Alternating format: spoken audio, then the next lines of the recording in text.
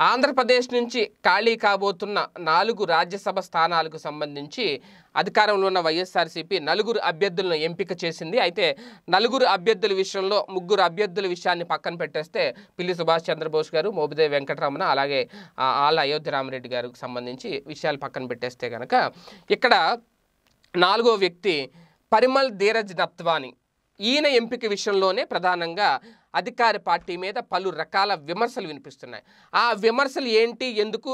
ఆ విమర్శలకు దీటైన కౌంటర్ కూడా ఇచ్చే ప్రయత్నం చేస్తున్నారు వైసీపీ శ్రేణులు. అది ఏంటి అనేది ఇప్పుడు నేను మీకు చెప్పే ప్రయత్నం చేస్తాను. వాస్తవానికి ఈ నత్వానీ గారికి సీటు కేటాయించడం వల్ల రాష్ట్రానికి ఒరిగేది ఏంటి రాష్ట్రానికి ఎటువంటి ప్రయోజనాలు తెచ్చిపెడతారు? అంటే అంబానీ గారు వచ్చి రికమెండేషన్ చేసేస్తే ఆ సీటు కేటాయం చేస్తారా అనేది. ఓకే. ఇక్కడ అసలు విషయం ఏంటంటే ఈ ప్రశ్న బాగానే ఉంది తప్పేం లేదు.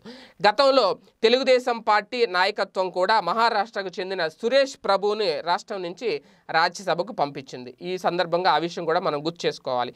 సురేష్ ప్రభు గత ఎన్డీఏ ప్రభుత్వ హయాంలో రైల్వే మంత్రిగా కూడా పనిచేశారు. కానీ ఏ రోజు కూడా ఆంధ్రప్రదేశ్ ప్రయోజనాల గురించి పట్టించుకున్న దాఖలాలు ఉన్నాయా లేవా అనేది ప్రజలే ఆలోచించుకోవాలి. ఆయన పంపించిన తెలుగుదేశం పార్టీ కూడా ఎలాంటి ప్రయోజనాలు వచ్చాయి సురేష్ ప్రభు ద్వారా రాష్ట్రానికి అనేది కూడా చెప్పాల్సిన అవసరం ఉంది. అయితే ఇక ఏనాడు ఆయన ఆంధ్రప్రదేశ్ ప్రయోజనాల గురించి పట్టించుకోలేదు అని చెప్పి వైసీపీ శ్రేణులు ఇప్పుడు చేస్తున్న విమర్శలకు ధీటుగా ఏమన్నా సమాధానం చెప్తారా వైసీపీ నేతలు అనేది కూడా ఆలోచించుకోవాలి. రాష్ట్ర విభజన చట్టంలో ఇచ్చిన హామీ మేరకు కనీసం విశాఖ రైల్వే జోన్ ఏర్పాటు కోసం కూడా రాజ్యసభ సభ్యుడిగా సురేష్ ప్రభు ఏమన్నా కృషి చేశారా అంటే అది కూడా జీరో అని చెప్పాలి. ఎందుకంటే అది చాలా ప్రతిష్టాత్మకం.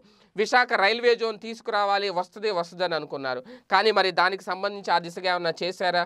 సురేష్ ప్రభు ఏమన్నా రైల్వే జోన్ కోసం పోరాటం చేశారా?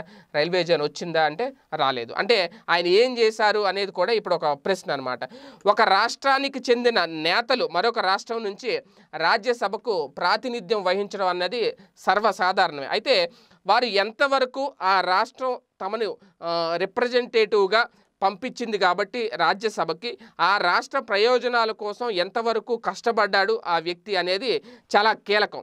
దాని మీదే ఆ రాష్ట్ర ప్రయోజనాల కోసం కృషి చేస్తారు అనే దానిపైనే వారి క్రెడిబిలిటీ ఏంటి అనేది కూడా ఆధారపడి ఉంటుంది. ప్రజలకు కూడా అర్థం అవుతుంది.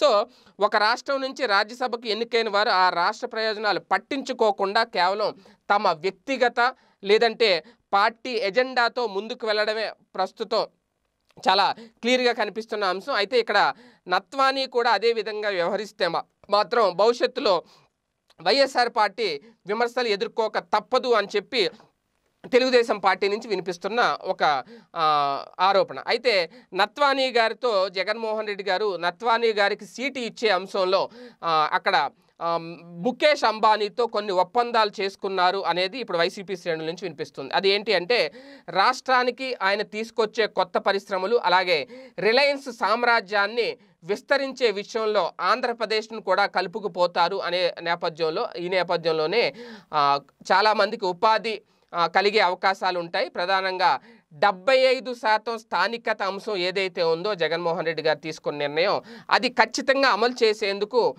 రిలయన్స్ అధినేత సిద్ధంగా ఉన్నారు. ఈ నేపథ్యంలోనే నత్వానికి రాజ్యసభకు కేటాయించారు అనేది. తర్వాత ఆయన ద్వారా అలాగే ఎందుకంటే రాజ్యసభలో ఇప్పుడు వీళ్ళతోనే పోదు ఇంకా మళ్ళీ రాజ్యసభలో వైసీపీ బలం పెరిగే అవకాశం ఉంది ఇంకా ముందు ముందు స్థా ఖాళీ అయ్యే స్థానాలు చాలా ఉన్నాయి. రెండు వేల ఇరవై నాలుగు అయ్యేసరికి స్థానాలు చాలా స్థానాలు ఖాళీ అవుతూ ఉంటాయి. అవన్నీ కూడా వైసీపీ మళ్ళీ రాజ్యసభ సభ్యుల అభ్యర్థులను పంపిస్తూనే ఉంటుంది. ఆల్రెడీ దానికి సంబంధించిన ఒక వీడియో కూడా చాలా క్లియర్గా చేశా.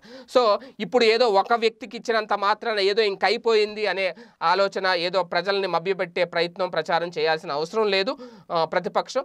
ఇదే విషయాన్ని వైఎస్ఆర్సీపీ శ్రేణులు బాహాటంగా చెప్తున్నారు. నత్వాని వల్ల రాష్ట్రానికి ఎలాంటి ప్రయోజనాలు కలిసి వస్తాయి పారిశ్రామిక రంగం ఏ విధంగా ఆంధ్రప్రదేశ్లో అభివృద్ధి చెందుతుంది అనేది రాబోయే రోజుల్లో వెదురు చూస్తే వెయిట్ చేసి చూస్తే అర్థమవుతుంది అనేది వైసీపీ శ్రేణుల అభిప్రాయం. చూద్దాం. గనక మీకు నచ్చినట్లయితే లైక్ చేయండి షేర్ చేయండి. మరిన్ని వీడియోస్ కోసం మా ఛానల్ను సబ్స్క్రైబ్ చేయండి.